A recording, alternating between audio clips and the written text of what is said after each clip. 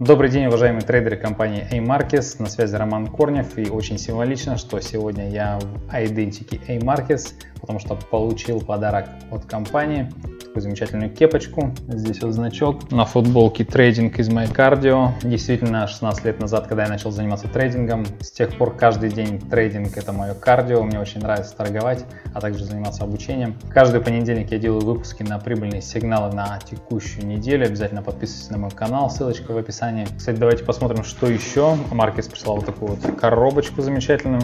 Здесь есть классный блокнот вот такой вот с ручкой. Ну а также зонтик на случай финансового шторма.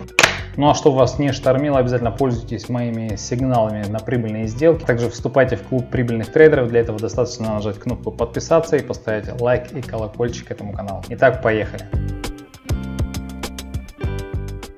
Итак, не все, наверное, пережили бурю от нон-фарма в пятницу, когда все ожидали роста доллара, он вдруг откорректировался и вырос евро-доллар. Ну, мне-то повезло, у меня есть зонтика, маркетс меня защищает от таких штормов. А вас я предупреждаю, ставьте стопы, иначе вас тоже будет выносить. Итак, у меня здесь три сигнала. Если цена все-таки откорректируется, пойдет дальше вниз, то в районе поддержки, в районе цены 0.9777 можно будет покупать, зарабатывать на росте. Если цена продолжит еще движение вверх, он пока вот ходит в таком канале, то в районе цены 1.0056 можно будет продавать, зарабатывать на падении. И также есть вот такая восходящая наклонная линия сопротивления. От нее можно будет тоже продавать и зарабатывать на падение в районе цены 1.0150. Британский фунт похожая ситуация. Сейчас вот он пошел вверх. И здесь у него на пути встречается значит, линия сопротивления. Это уже зеркальная линия сопротивления. 1.1421. Если пройдет дальше, то в районе цены 1.1500 также может продавать, зарабатывать на падение от линии сопротивления наклонной. Если же пойдет вниз дальше,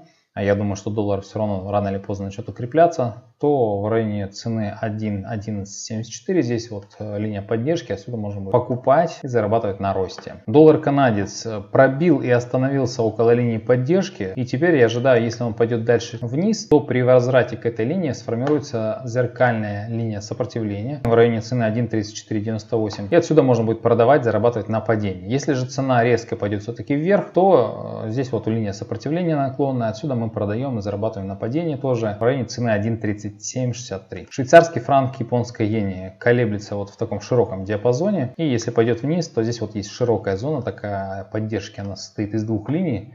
На H4 ее видно. Здесь вот две линии. Они и это, и это имеет место быть. А, поэтому это немножко ослабляет сигнал в том плане, что ложные пробои могут быть. Но просто уменьшайте объем и все будет нормально. Если цена пойдет вверх, то здесь в районе цены 149-930 можно будет продавать, зарабатывать на падении. Кстати, этот сигнал очень хорош э, с точки зрения долгосрочного входа. Вот мы видим, что здесь такие вот хорошие максимумы были, на которых строится эта линия сопротивления. Отсюда можно будет входить, например, моим роботом в долгосрочку на позицию в режиме sell. Кому интересен мой робот, переходите по ссылочке на мой канал и смотрите ролики с его тестированием. Австралийский доллар также сейчас подлетел вверх, но если пойдет все-таки вниз, то здесь в районе цены 0.6294 может быть покупать, зарабатывать на росте. Анализ по нефти, по золоту и по другим инструментам смотрите полный обзор у меня на канале, ссылка в описании. Ну а сейчас давайте посмотрим экономические события. Все же не только на техническом анализе зарабатывать, но немножко на фундаментальном. Эта неделя не очень богата на хорошие события, однако вот начиная с четверга есть прям несколько новостей. Индексы потребительских цен. Это информация по инфляции инфляции, поэтому она традиционно увеличивает волатильность. И в пятницу будет ВВП по Британии, также много новостей, тут за месяц, за год, за квартал э, направленного какого-то движения не будет, но волатильность будет обеспечена, поэтому а, присмотритесь к этим новостям. Ну и в 10 часов вот индекс потребительских цен